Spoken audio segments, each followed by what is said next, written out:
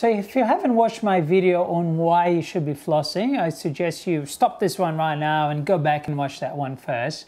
Um, but say you've done it and you're ready to give it a go and you really want to make sure you're flossing every single day like you should. Um, you go to supermarket and suddenly this is what you get a whole truckload of little bits and things that you can use to floss your teeth. So how do you pick what which one is best for you? How do you use them? And today we're going to talk a little bit about this.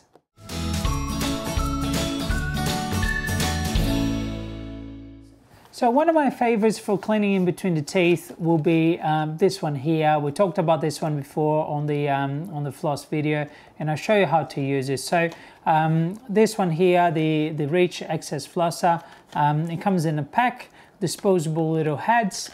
Um, the way you use it, very very simple. Um, it should be used almost like a, a toothbrush.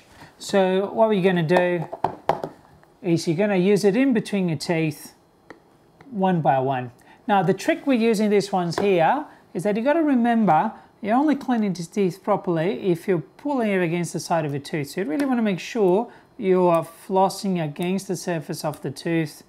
Go back in and do the other side. So remember you've got two surfaces you need to clean, two sides here, and you're pulling it again. So they're quite good. They're very, very handy um, for people who have big chubby, chubby fingers, you really can get back in there. It's also good for parents who want to floss their kids' teeth because they're very easy to see where you're going. So I'd say this is definitely worth a try. Um, my opinion, the only disadvantage is you've got to keep buying, uh, remember to keep buying the disposable heads. Now, another one you should definitely give a try is the Flossmate. Flossmate is a little bit more difficult to find, but, but once you do, um, they're quite good too. So little handle. We spoke about this one in my previous video. So you grab yourself a bit of floss, um, tie it up. So you just loop it around the base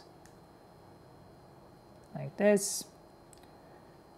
Go up and across and back. Flossing in between the teeth. Remember to pull it, push it, that way you're cleaning both surfaces of your teeth. I quite like this one. Um, nice big thick handle, great for the kids. They can really see where they're going. Comes in lots of different colors. You can use whatever floss you like um, with flavoring, uh, tape or plain floss. Um, it's up to you.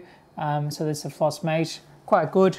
Now this will be um, a fancier version of uh, these two gadgets that I showed you and it's uh, the electric uh, toothbrush version of flosser. So it's called the Hummingbird from Oral-B.